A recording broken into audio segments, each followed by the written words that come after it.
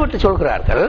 ஆனால் அம்மா மன் கான முசிர்ரன் அலா தருக்கியா லாயுசல்லி கத்து. ஆனால் யார்? தொழுகையை விட்டு விடுவதிலே பிடிவாதமாக இருக்கிறார்.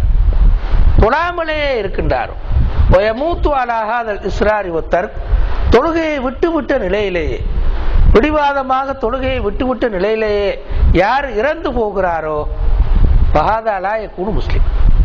இவர் ஒருபோதும் முஸ்லீமாக இருக்க முடியாது. ஆனால் மனிதர்கள் அதிகமானவர்கள் தொழுகையை செய்கிறார்கள் தொழுகையை விட்டு விடுகிறார்கள். இப்படி தொழுகையை விட்டு விட்டு செய்பவர்களை பொறுத்தவரையில் அல்லாஹுடைய தண்டனைக்குட்படுபவர்களாக அவர்கள் இருக்கிறார். அவர்களை பற்றி ரசூல்லா இஸ்லாம் அவர்கள் ஹம்சு சலவாத்தின் கத்தபகுன் அல்லாஹு வரல் இபாத் ஃபி- ஃபில் அல்லாஹு தாலா மனிதர்களுக்கு ஐந்து நேர தொழுகைகளை எழுதி இருக்கிறார் கடமையாக்கி இருக்கிறார். மன்ஹாஃபல அலை அலைஹின்ன யார் அதனை தொடராக விட்டுவிடாமல் செய்து வருகிறாரோ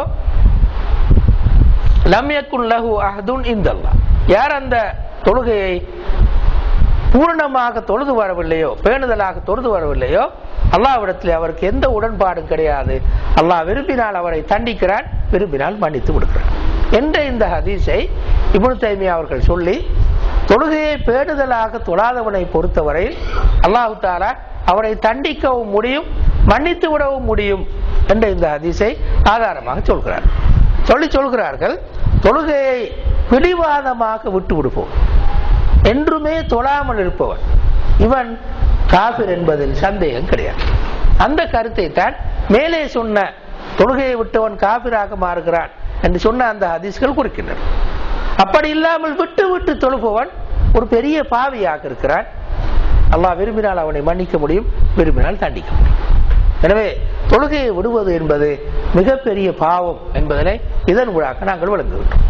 தொழாமலே இருப்பது அவன் ஒரு முஸ்லீம் அல்ல அவன் ஒரு காபி. அவன் அறுப்பதை சாப்பிடக்கூடாது. அவனுடைய பிள்ளைகளை திருமணம் முடிக்கக்கூடாது. அவனுடைய மனைவியை பிரித்து வைக்க வேண்டும். அதாவது நிரந்தரமாக தொழாமல் இருப்பவனை பொறுத்தவரையில் அவன் ஒரு காபிர் என்பதில் கருத்து வேறுபாட்டு கிடக்கும் எனவே அவன் அறுத்ததை சாப்பிடுவோ அவனுடைய பிள்ளைகளை திருமணம் முடிக்கவோ அவனுடைய மனைவியோடு அவனுக்கு வாழுவதுவோ கூட என்ற கருத்தை தான் நாங்கள் இதன் ஊடாக விளங்குகின்றோம். எனவே இந்த அளவு தூரத்துக்கு தொழுகை என்பது மிகவும் முக்கியத்துவம் வாய்ந்ததாக இருக்கிறது என்பதனை இதன் ஊடாக நாங்கள் விளங்குகிறோம். அடுத்த பாதையில் ஆரம்பத்தில் நாங்கள் சொன்னது போன்று தொழுகையை அல்லாஹு தாலா ஏன் கடமையாக்கினான் என்பதனை நாங்கள் சொன்னோம். இரண்டாவது சொன்னோம் அவ்வாறு கடமையாக்கிய தொழுகை என்ன விளைவுகளை கொடுக்கும் என்ன நோக்கத்துக்காக கடமையாக்கப்பட்டதோ அந்த நோக்கம் நிறைவேறுகின்ற போது அதாவது அல்லாவோடு ஒரு மனிதன் தொடர்படுகின்ற போது தொழுகையினூடாக என்ன விளைவுகளை அது கொடுக்கும் என்பதனை நாங்கள் ஏற்கனவே சொன்னோம். எனவே இந்த தொடர்பை ஏற்படுத்திக் கொள்கின்ற வகையில் தொழுகை சொல்கின்ற அந்த விளைவுகளை கொடுக்கின்ற வகையில் தொழுகையை உயிரோட்டமாக தொழுவது மிகவும் முக்கியத்துவம் வாய்ந்தது என்று ரசூல்லா இஸ்லாம் அவர்கள் நிறைய சொல்லியிருக்கிறார். அதில் ரெண்டொன்று ஹதீஸ்களை மட்டும் நாங்கள் இங்கே பார்ப்போம் இன்னர் ரஜுல லயன் சரிஃப் ஒரு மனிதன் தொழுகையை விட்டு நீங்குகின்றான் தொழுது முடிக்கின்றான். ஒமா யுக்த புலகு இல்லா உஷ்ரு சலாத்தி. அவன் அவன் தொழுத தொழுகையில் அவனுக்கு பத்தில் ஒரு கூலியே எழுதப்படுகிறது. அல்லது ஒன்பதில் ஒன்று எழுதப்படுகிறது. அல்லது எட்டில் ஒன்று எழுதப்படுகிறது. அல்லது ஏழில் ஒன்று எழுதப்படுகிறது. அல்லது ஆறில் ஒன்று எழுதப்படுகிறது. அல்லது ஐந்தில் ஒன்று எழுதப்படுகிறது. அல்லது நாலில் ஒன்று மூன்றில் ஒன்று அரைவாசி எழுதப்படுகிறது என்று ரசுல்லா இஸ்லாம் அவர்கள் சொன்னார். எனவே ஒஷ்ரு சலாத்திஹி துஸ்உஹா ஹுமுனுஹா சுபுஹா சுதுசுஹா ஹுமுசுஹா ருபுஹா சுலுசுஹா நிஸ்புஹா. என்று இப்படி தொழுகை எப்படி உயிரோட்டமாக இருக்கிறதோ அந்த அளவுக்குத்தான் அல்லாஹு தாலா கூலியையும் எழுதுகின்றான். பத்தில் ஒன்று கிடைக்க முடியும் ஒன்பதில் ஒன்று கிடைக்க முடியும் எட்டில் ஒன்று கிடைக்க முடியும் சில வேலைகளில் தொழுகையில் அரைவாசியும் கிடைக்க முடியும் என்று ரசூலுல்லா அல்லா அலைஹி சொன்னார். இந்த கருத்தை இபுன் அப்பாஸ் ரலியல்லாஹு இப்படி சொன்னார். லைசலக்க சலாத்திக்க இல்லாம அக்கல். உனது தொழுகையில் உனக்கு கிடைத்தது நீ எதனை புரிந்து கொண்டாயோ எதனை விளங்கி கொண்டாயோ அதுவாகத்தான் இருக்கிறது என்று இபுன் அப்பா சொன்னார். தொழுகையின் போது நீ ஓதிய அந்த குரான் வசனங்கள் சுஜூதிலும் ஆஹ், ஏனைய இடங்களிலும் ஓடிய திக்கர்கள் இவற்றினூடாக நீ எதனை உள்ளத்திலே வாங்கி கொண்டாய் எதனை பெற்றுக்கொண்டாய் விளங்கி கொண்டாய் அதுதான் உனக்கு தொழுகையில் கிடைத்தது. அவற்றில் எதுவுமே உனக்கு புரிந்து கொள்ள முடியாவிட்டால் எதையும் பெற்றுக்கொள்ள முடியாவிட்டால் தொழுகை உனக்கு எதுவும் கிடைக்கவில்லை. என்று இபுன் அப்பாஸ் அது அவர்கள் இந்த ஹதீஸிலே இந்த கருத்தை சொல் இந்த ஹதீஸை விளக்குகின்ற வகையில் அந்த கருத்தை சொல்லியிருக்கிறார். எனவே இந்த வகையில் தொழுகை என்பது எவ்வளவு தூரத்துக்கு உயிரோட்டமாக இருக்கிறதுவோ அந்த அளவுக்கு தான் கூலியும் அதனை பொறுத்துதான் அமைகிறது என்பதனை இதன் ஊடாக நாங்கள் விளக்குகிறோம். பாவ மன்னி அதாவது தொழுகையினூடாக அல்லாஹு தாலா பாவங்களையும் அழித்து கொடுக்கிறார். அதற்கும் காரணம் தொழுகையில் காணப்படுகின்ற அதே உயிரோட்டம் தான் என்று ரசூலுல்லா இப்படி சொல்கின்றார். மாமின் முஸ்லிமின் எத்தவப்தாவு பயுஸ்பிகள் உது. ஒரு முஸ்லிம் ஒளி செய்து பூரணமாக அந்த ஒழுவை செய்து சும்மா கூமுஃபி சலாத். சலாத்தி பிறகு தொழுகையிலே அவன் நிற்கின்றான். ஃபயாலமு அந்த தொழுகையில் தான் என்ன சொல்கிறானோ அதனை விளங்கி சொல்கின்றான். ஃபயாலமு மா தொழுகையில் அவன் என்ன சொல்கின்றானோ அதனை விளங்கி அவன் சொல்கின்றான். அப்படி அவன் செய்தால் இன்ஃபத்தல வகு வளர்ந்த வளர்ந்த அன்று பிறந்த ஒரு பிள்ளை போன்று குற்றமற்றவனாக அவன் தொழுகையிலிருந்து வெளியே வருகின்றான். ரசூல்லா சொன்னார். எனவே இங்கு இந்த வசனம் பயாலமு மாயக்கு தான் சொன்னவற்றை விளங்கி நான் தொழுகையில் என்ன சொல்கின்றானோ அவற்றை விளங்கி அவன் தொழுதால் தொழுகையிலிருந்து வெளியே வருகின்ற போது அன்று பிறந்த பிள்ளை போன்று குற்றமற்றவனாக வருகின்றான் என்று அவர்கள் சொன்னார் எனவே பாவ மன்னிப்புக்கும் காரணம் தொழுகை தொழுதால் ஏற்கனவே செய்த பாவங்கள் லொகரை தொழுதால் சுபகுக்கும் லொஹருக்கும் இடையே செய்த சிறு பாவங்கள் அசரை தொழுதால் லோகருக்கும் அசருக்கும் இடையே செய்த சிறு பாவங்கள் இப்படியான பாவங்கள் மன்னித்து விடப்படும் என்று ஹதீஸ்லே வந்திருக்கிறது. எப்போது அது மன்னித்து மன்னித்து விடப்படும் இப்போ பயானமுமா எப்போ தொழுகையிலே நான் என்ன சொன்னேன் என்பதனை விளங்கி உயிரோட்டமாக தொழுதால் தான் அல்லாஹு தாலா அந்த பாவங்களை மன்னித்து விடுவதாக இந்த ஹதீஸ் எங்களுக்கு சொல்கின்றது. உயிரோட்டம் இல்லாத தொழுகை எப்படி அமையும்? அதனை பற்றி ரசூல்லா இஸ்லாஸ்மார்கள் என்ன சொன்னார்கள் என்று நாங்கள் பார்த்தால் ரசூல்லா இஸ்லாஸ்மார்கள் ஒரு மனிதன் தொழுவதை கண்டார். வேகமாக பாஸ்டாக தொழுது கொண்டு போனார். அப்போ ரசூல்லா அந்த மனிதனை பார்த்து சொன்னார்கள் யா புலான் அலா தத்தத்தில்லா மனிதனே நீ அல்லாவை பயப்படவில்லையா? அலா தன்னூறு கைஃப துசல்லி. எப்படி தொழுகிறாய் என்று நீ அவதானிக்கவில்லையா? இன்ன அகதக்கும் இதா காம யுசல்லி இன்னமாய கூமு யுனாஜி ரப்பஹு. உங்கள் ஒருவர் தொழுகைக்காக நின்றால் அவர் அல்லாவோடு உரையாடுகிறார் என்பதனை அவர் கவனத்தில் கொள்ளவில்லையா? உங்கள் ஒருவர் தொழுகைக்காக நின்றால் அல்லாவோடு அவர் உரையாடுகிறார் என்பதனை அவர் கவனத்தில் கொள்ளவில்லையா? பல் எல்லோர் கைஃபை உனாஜி அல்லாவோடு எப்படி உரையாடுவது என்பதனை அவர் கவனத்தில் கொள்ளட்டும் என்று ரசுல்லா சொன்னார். எனவே வேகமாக தொழுது ஒரு மனிதனை பார்த்து ரசுல்லா என்ன சொன்னார்கள்? நீ அல்லாஹ் பயப்படலையா இப்படியா தொழுகிறது? நீங்க தொழ நின்றால் என்ன செய்கிறீர்கள்? அல்லாவோடு உரையாடு. எனவே அல்லாவோடு உரையாடும் போது எப்படி நடந்து கொள்ள வேண்டும்? அந்த ஒழுங்கல்லவா இடத்துல காணப்பட வேண்டும் என்று ரசூலுல்லா இங்கே சொல்லியிருக்கிறார். அடுத்த ஹதீஸில் அஸ்வ நாசி சருக்கத்தன். மனிதர்களே ஆக மோசமான கல்வன் யார் என்றால் அல்லது குமன் சலாத்தி. தன்னுடைய தொழுகையிலே களவாடுவோம். மனிதர்களுடைய மனிதர்களே ஆக மோசமான கல்லன் தன்னுடைய தொழுகையிலேயே களவாடுவோம். எப்படி? லாய் லா ருக்கு அஹா ஒலா சுஜூதஹா ஒலா குஷுவா ருக்கு செய்யும் போதும் அவன் பூரணமாக செய்ய மாட்டான். சுஜூது செய்யும் போதும் பூரணமாக சுஜூது செய்ய மாட்டான். தொழுகையிலே பயபக்தியாக இருப்பதை பொறுத்தவரையிலும் பூரணமாக பயபக்தியாக இருக்க மாட்டான். எல்லா பக்கத்தாலேயும் களவாடி இருப்பான். சுஜூதுல கொஞ்சம் களவாடி ருக்குல கொஞ்சம் களவாடி. அல்லாவுக்கு பயபக்தியோடு இருக்கின்ற அந்த நிலையிலேயும் கொஞ்சம் களவாடி இருப்பான். இவன் தான் ஆக மோசமான கல்வன் கல்வரிலேயே ஆக மோசமான கல்வன் சொல்ல சொன்னார் ஏன் ஆக மோசமான கல்வன் களவாடுற இடம் ஆக மோசமான இடம். அல்லாவுக்கு சொந்தமானத்தை போய் களவாடி. எனவே ஆக மோசமான கல்லன். இரண்டாவது கல்லன் உலகத்துல பொருளை களவாடுறவன் அந்த பொருளால பயன்பெறுவான். களவாடினாலும் கூட களவாட்டு அந்த பொருளால பயன்பெறுவான். இங்க பயன்பெறுவானா? கண்ட தொழுகையில களவாடினவன் என்ன பயன்பெறுவான்? அப்படியே நஷ்டம் அடைந்தவனாக எனவே இவன் ஆக மோசமான கல்வன் ரசூல்லா இஸ்லாஸ்மாங்க அஸ்வ உன்னாசி சருக்கத்தன் அல்லது எஸ்ரு குஃபி சலாத்தி தன்னுடைய தொழுகையில் களவாடுபவன் தான் ஆக மோசமான கல்வன் என்று ரசூலுல்லா சுல்லா அலிஸ்லாம் அவர்கள் சொல்லியிருக்கிறார்.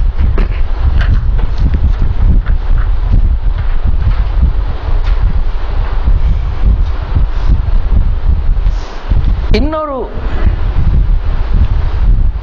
அதனையும் விட மிகவும் கடுமையான ஒரு ஹதீஸ். அபு அப்துல்லா லஷ்அரி அவர்கள் அறிவிக்கிறார்கள். அன்ன ரசூல்லா இஸ்லாம் ரஜுலன் லா யுதிம்மு ருக்குஅஹு ஒயன் குரு ஃபி இது சுஜூதி. ரசூல்லா இஸ்லாம் அவர்கள் ஒரு மனிதனை கண்டார்கள். அவன் தன்னுடைய ருக்குவை பூரணமாக்கவில்லை. தொழுகையை சுஜூது செய்கின்ற போது மிக வேகமாக செய்து கொண்டு சென்றார் அப்போது ரசூல்லா சொன்னார்கள் ஃபக்கால லவ்மாத்த ஹாதா அலா ஹாலிஹி இந்த மனிதன் இதே நிலையில் மரணிப்பானாக இருந்தால் மாத்தாலா கைரி மில்லத்தி முகம்மது சல்லா ரசூல்லாவுடைய மார்க்கம் அல்லாத இன்னொரு மார்க்கத்திலே மரணித்து விடுவான். இந்த மனிதன் இதே நிலையில் மரணித்து விட்டால் ரசூல்லாவுடைய அல்லாத இன்னொரு மார்க்கத்திலே மரணித்து விடுவான் ரசூல்லா இஸ்லாம் அவர்கள் சொன்னார். அது வேகமாக தொழுத ஒரு மனிதனை பார். ருக்கு போறது ஃபாஸ்டா எழும்புறது பூர்ணமாக்காம. சுஜூது போறான் வேகமாக எழுப்புகிறான் இப்படி சுஜூதுல ருக்குவிலே பூரணமாக இருந்து ஓத வேண்டியவைகள் ஓதி கவனமாக தொழாமல் மிக வேகமாக தொழுபவனை பார்த்து ரசுல்லா சொன்னார்கள் இந்த மனிதன் இப்படியே மூத்தா போனால் ஏண்ட மார்க்கத்துல மூத்தாக மாட்டான். வேறொரு மார்க்கத்துல மூத்தா அப்ப இதை விட சீரியஸாக எந்த வார்த்தைகளை பாவிக்க முடியும்? எனவே இந்த ஏற்கனவே சொன்ன இந்த எல்லா ஹதீஸ்களும் எங்களுக்கு சொல்ற கருத்து தொழுகையை உயிரோட்டமாக வைத்துக் கொள்வதில் கவனமாக இருங்கள். தொழுகை உயிரோட்டமாக அமையாத போது அந்த தொழுகையுடைய பிரயோசனம் மிகவும் குறைவாகவே இருக்கும். தொழாமல் இருப்பவனை விட தொழுபவன் சிறந்தவன். அதில் சந்தேகம் கிடையாது. தொழாமலே இருப்பவனை விட உயிரோட்டம் மிகவும் குறைந்த நிலையில் இருந்தாலும் கூட தொழுபவன் சிறந்தவன் தான். ஆனால் தொழுகையிலே உயிரோட்டம் இல்லாத போது தொழுகை ஏற்கனவே சொன்ன இந்த உயிரோட்ட நிலை தொழுகையில் காணப்படாத போது அந்த தொழுகை மிக குறைந்த பிரயோஜனத்தை எங்களுக்கு தரும். அதற்கான நன்மையும் மிகவும் குறைவு. பாவ மன்னிப்புக்கும் அதனால் கிடைக்க பெற மாட்டாது. சில வேலைகளில் பாவம் கிடைக்கக்கூடிய சூழ்நிலையும் கூட மிக மோசமாக தொழும்போதும் பாவம் கிடைக்கக்கூடிய சூழ்நிலையும் கூட உருவாக்க முடியும் என்று இந்த ஹதீஸ்கள் அனைத்தும் எங்களுக்கு சொல்றேன் எனவே மதிப்புக்குரிய சகோதரர்களே நாங்கள் எல்லோரும் கவனம் செலுத்த வேண்டிய ஆக முக்கியமான அம்சம்தான் எப்படி நாங்கள் அல்லாஹ் தொழுகையை எதற்காக கடமையாக்கி இருக்கிறானோ அந்த இலக்கை அடைகின்ற வகையில் எப்படி தொழுவது எப்படி எங்களுடைய தொழுகையை உயிரோட்டமாக மாற்றிக்கொள்வது என்பது பற்றித்தான் நாங்கள் எல்லோரும் மிகவும் கூடுதலான கவனத்தை செலுத்த வேண்டும். தொழுகைக்குரிய சட்ட திட்டங்களை தேடி தேடி பெறுவதனையும் விட மிக கூடுதலாக நாங்கள் இதில் தான் கவனம் செலுத்த வேண்டும். அது ஒரு தனியான மிக விரிவான ஒரு பாடம். அது பயிற்றுவித்தலோடு சம்பந்தப்பட்டிருப்பார் தர்பியத்தோடு சம்பந்தப்பட்டிருப்பார் அதனை செய்வதற்கு எங்களுக்கு நேரமும் வாய்ப்பு இல்லை அதன் காரணமாக வெறும் கருத்துக்களை மட்டும் நான் இங்கே சொல்வதற்கு முனைக்கிறேன் உயிரோட்டமாக தொழுவதற்கு என்ன செய்ய வேண்டும்? விரிவாக வரல மிகவும் சுருக்கமாக அதனை சொல்ல முடியும் முதலாவது உயிரோட்டமாக தொழுகையை அமைத்துக் கொள்ள வேண்டுமாக இருந்தால் முதலாவது இந்த விஷயத்தை வழங்க வேண்டும். யாரை நாங்கள் தொழுகிறோமோ அந்த அல்லாவை பற்றிய அறிவு எங்களுக்கு இருக்க வேண்டும். முதலாவது விஷயம்.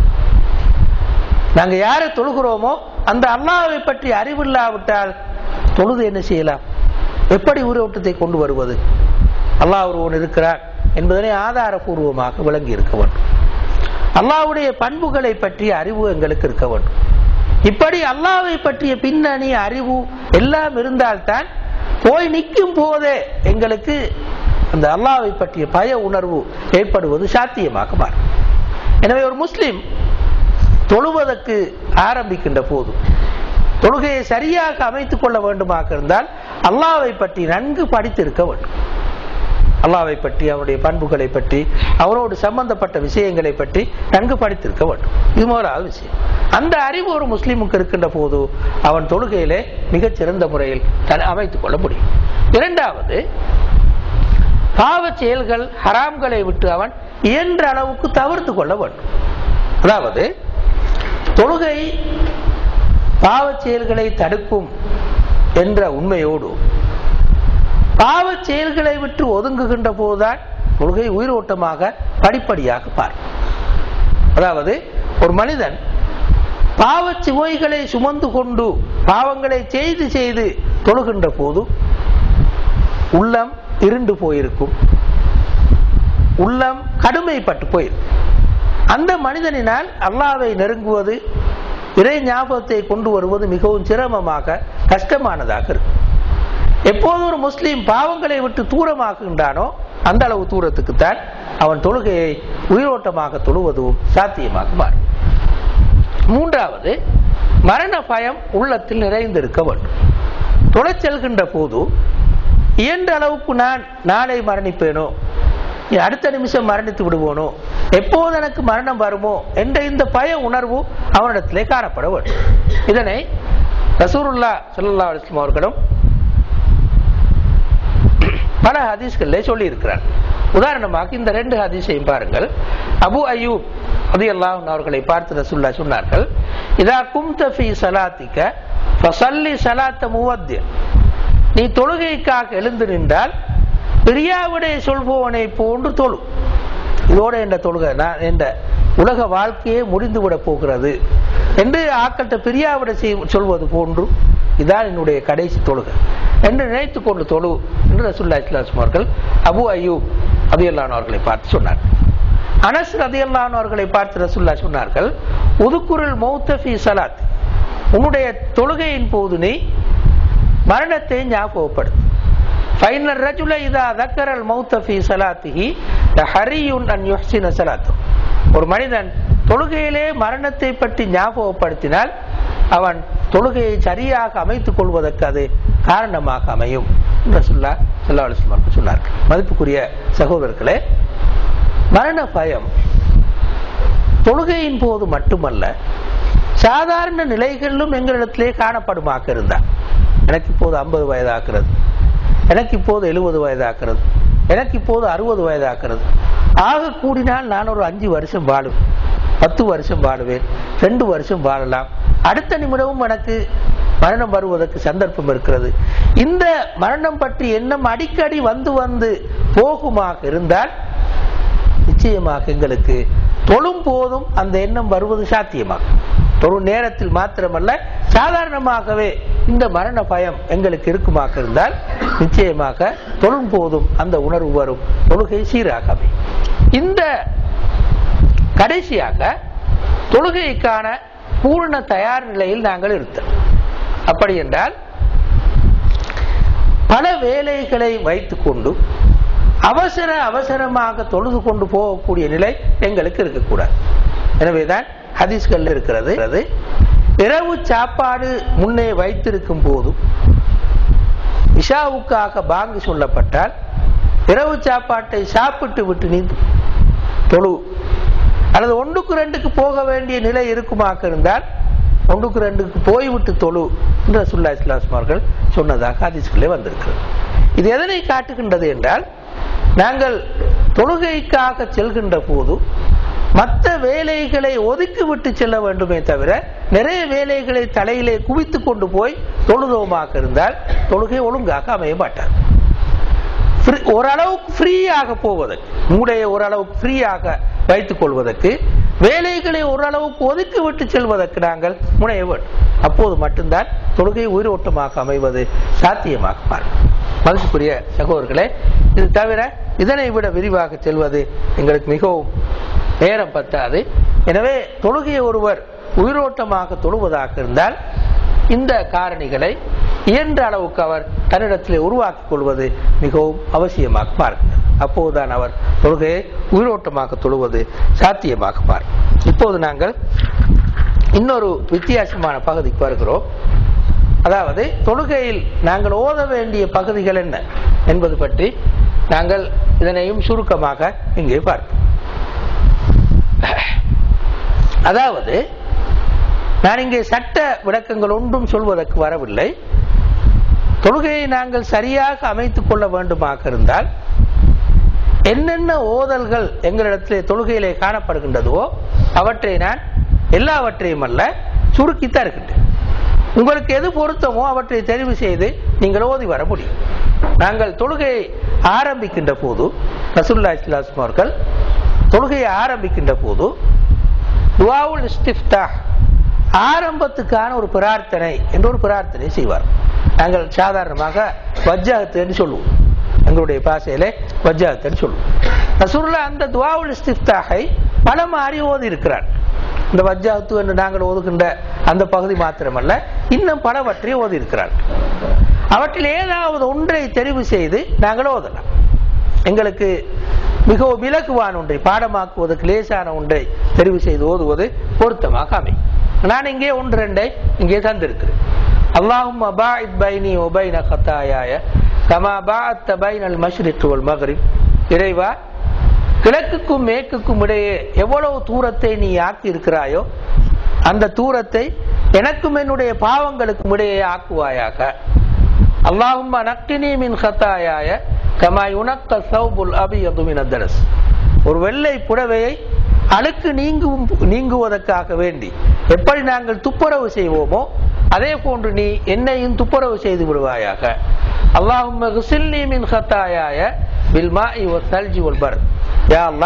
என்னை தண்ணீரின் மூலமும் ஐஸ் கட்டியின் மூலமும் ஆலங்கட்டியின் மூலமும் துப்புரவுப்படுத்துவாயாக என்று ரசூல்லா இஸ்லாம் அவர்கள் தொழுகையை ஆரம்பிக்க முன்னால் பிரார்த்திப்பார். இமாம் இபுனு தைமியா ஏன் இந்த தண்ணி இந்த ஐஸ் தண்ணி? எல்லாம் ரசூல்லா சொன்னார்கள். சொல்லும்போது இமாம் இபுனு தைமியா விளக்கம் சொல்வார்கள். பாவ செயல்களுக்கு ஒரு சூடு இருக்கிறது. உடம்புலே ஒரு சூடு இருக்கிறது.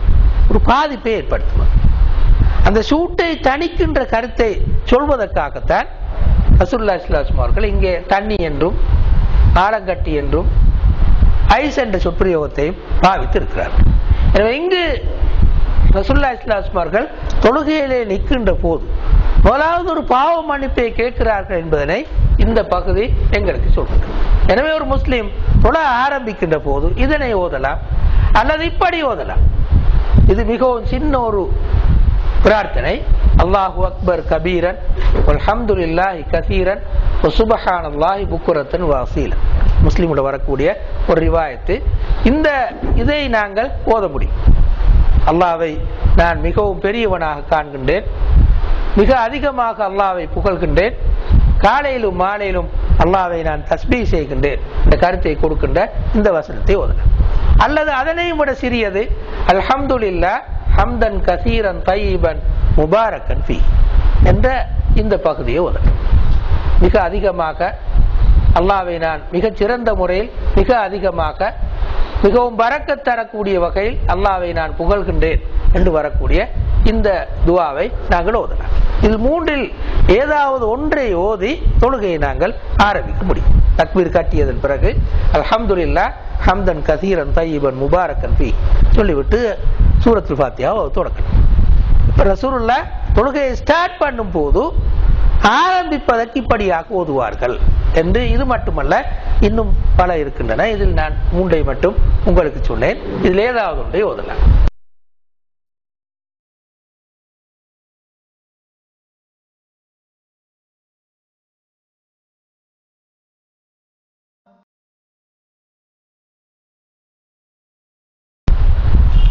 அதுக்காக ருக்கு ருக்குல வரக்கூடிய திக்கர்கள் மதிப்புக்குரிய சகோதரர்களே தொடர்ந்து செல்வதற்கு முன்னால் ரசூல்லா இஸ்லாஸ்மார்கள் ருக்குவிலும் சரி சுஜூதிலும் சரி போது நான் சொன்ன இந்த துவாவுல் இஸ்திஃப்தா ஆரம்பத்திலும் சரி பலவற்றை ஓதி இருக்கிறார் என்ன காரணம்?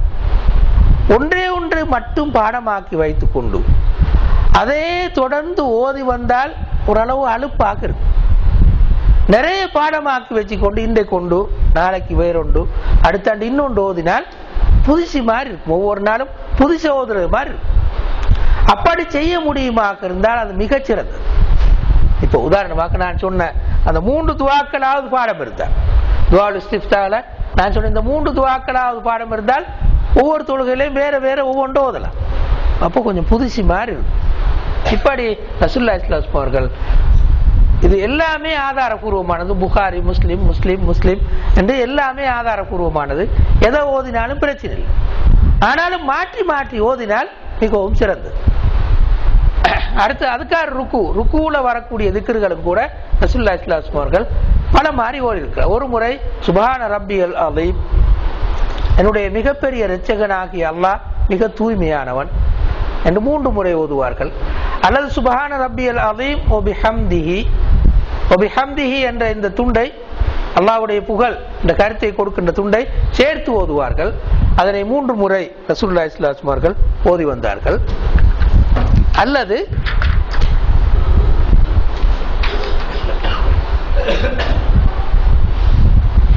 அல்லது சுப்பூஹும் குத்தூசுன் ரப்புல் மலாய்கத்தி உர்ரூஹ் அல்லாஹ் மிகவும் தூய்மையானவன் மிகவும் புனிதமானவன் மலாய்க்கத்தினுடையவும் ஜிப்ரீலுடையவும் ரிச்சகனாக இருக்கிறான் என்ற கருத்தை தரக்கூடிய இந்த வசனத்தையும் ருக்குவின் போது ரசுல்லா இஸ்லாம் அவர்கள் ஓதினார் சுபூஹுன் குத்தூசுன் ரப்புல் மலாய்க்கத்தி உர்ரூஹ் என்று ஓதினார் இன்னொரு ரிவாயத்திலே இப்படியும் ரசுல்லா இஸ்லாம் அவர்கள் ஓதினார் அல்லாஹும் லக்க ரக்காத்து இறைவா உனக்கே நான் ருக்கு செய்தேன் ஒபிக்க அமந்து உன்னையே ஈமான் கொண்டேன் உனக்க அஸ்லம் து உனக்கு நான் பணிந்தேன்.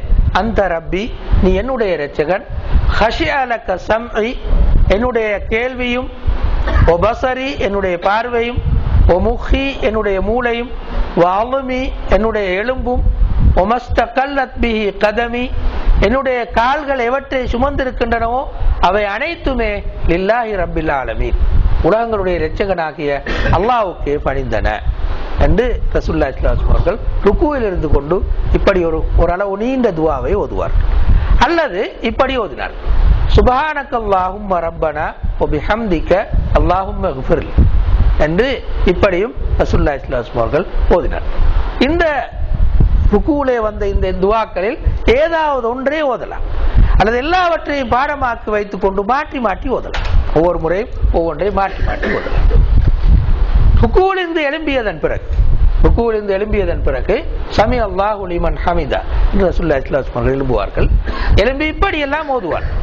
ரப்பனா லக்கல் ஹம்த் என்னுடைய எங்களுடைய இரட்சகனே உனக்கே அனைத்து புகழ்.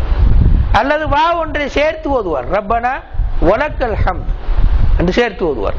அல்லது அல்லாஹும் ரப்பனா லக்கல் ஹம்த் என்று அல்லாஹும் என்று சொல்லையும் சேர்த்து இறைவா எங்களுடைய இரட்சகனே உனக்கே அனைத்து புகழும் என்று ரசூல்லா இஸ்லாம் அவர்கள் ஓதுவார். அல்லது இப்படி ஓதுவார்கள். அல்லாஹும் ரப்பனா வழக்கல்ஹம் இறைவா எங்களுடைய இரட்சகனே உனக்கே அனைத்து புகழும் என்ற கருத்தை தரக்கூடிய இதனை ஓதுவார்.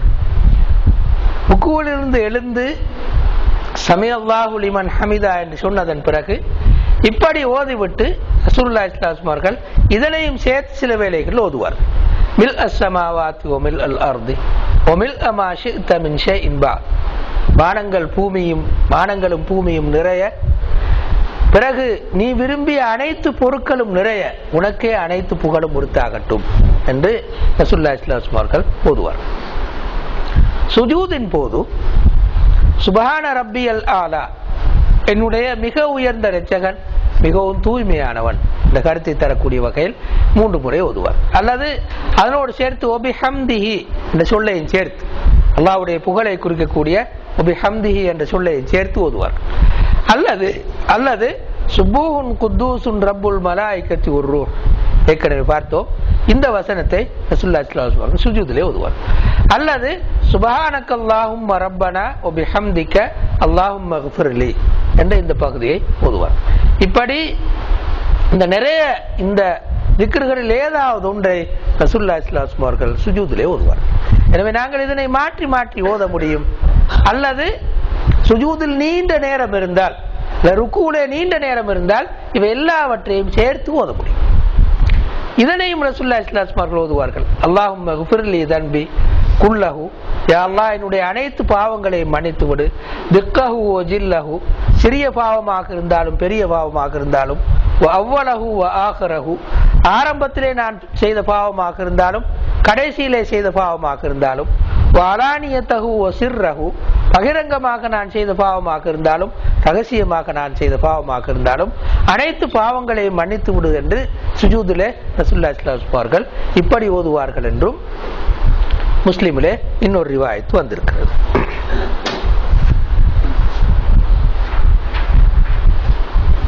இரண்டு சுஜூதுக்கு இடையில் ரசுல்லா இஸ்லாஸ்லாம் அவர்கள் ஓதிய சில திக்ர்கள் இப்படி. அல்லாஹும்